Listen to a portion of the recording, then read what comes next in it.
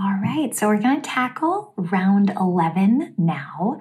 This is where we do two new stitches, the right lifted increase and the left lifted increase.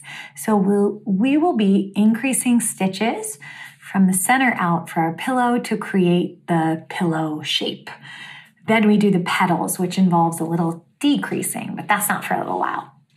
Okay, so we're going to start by looking at the pattern and reading in between those asterisks. It says knit one, right lifted increase, knit six, left lifted increase, knit one.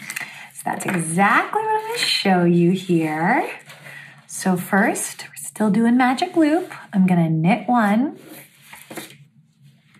and then I am going to do the right lifted increase.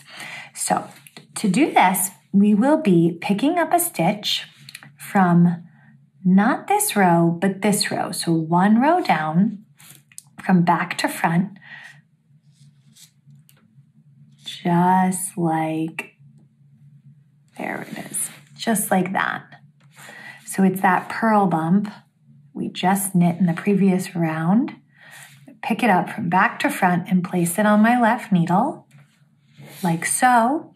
And then I'm going to knit through the front of that stitch like I normally would if I was knitting a knit stitch.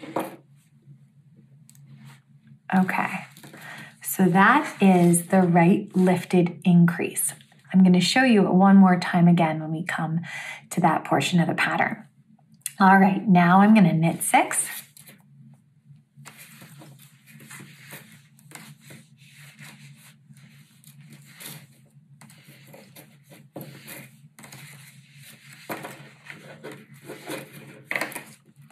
Okay, now it's time for the left lifted increase. So for the left lifted increase, we're going to go into the row two rows down on the right needle. So not this row, this is the first row, but the second row. The second row, and we're going to pick up that purl bump again that you see. But this time we're going to use our left hand needle you can see it's right there from back to front. Don't want to grab the Lurex. There we go. I think I got it. Yep. Just like that. I'm going to show you that one more time. It's, it's, it's a little tricky. So I'm going to, this is the second row down, and I'm going to pick it up from back to front, just like that. And then I'm going to knit through the back loop. I'm not going in through the front like we just did when we did the right lifted increase. I'm going through the back.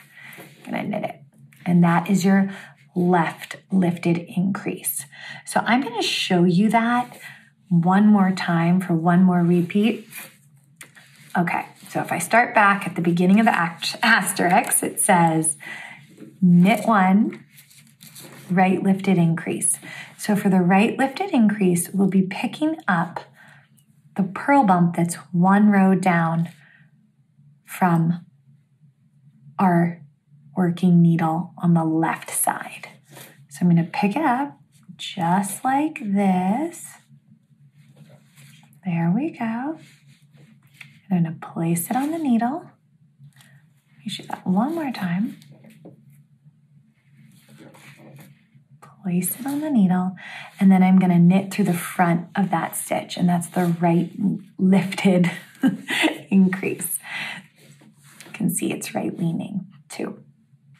Okay, and then I knit six. One, two,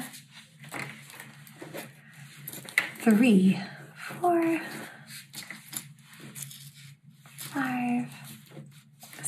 All right, now we're at the left lifted increase. So we're to go pick up a stitch that is two rows down from our right needle. So one, two, we're to pick up this purl bump here from back to front.